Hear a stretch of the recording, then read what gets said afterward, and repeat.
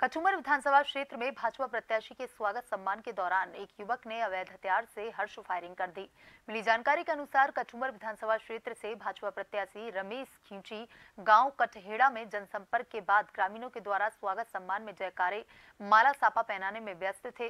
तभी एक युवक आया और उसने अवैध हथियार से हर्ष फायरिंग कर दी। जिसका वीडियो सोशल मीडिया पर वायरल हो गया है, जिसके बाद कचूमर सर्किल सीओ अशोक चौहान, थानाधिकारी खिडली मौके पर पहुँचे और हर्ष फायरिंग करने वाले के बारे में जानकारी ली।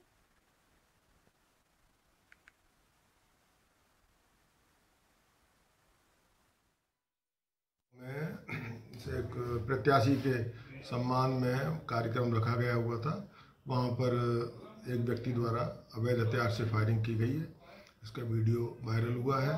इस संबंध में उसके यहाँ आंदोलन हम लोग गए। दबिश दी, आरोपी मिला नहीं है। उसके खिलाफ प्रकरण दर्ज कर रहे हैं। और शीघ्र ही उसको गिरफ़्तार करके कार्रवाई करेंगे। बिल्कुल कतई ही बर्दाश्त नहीं करेंगे। गलत काम कोई भी करेगा, चाहे वो कोई भी व्यक्ति है, उसके खिलाफ सख्त कानून के तहत कार्रवाई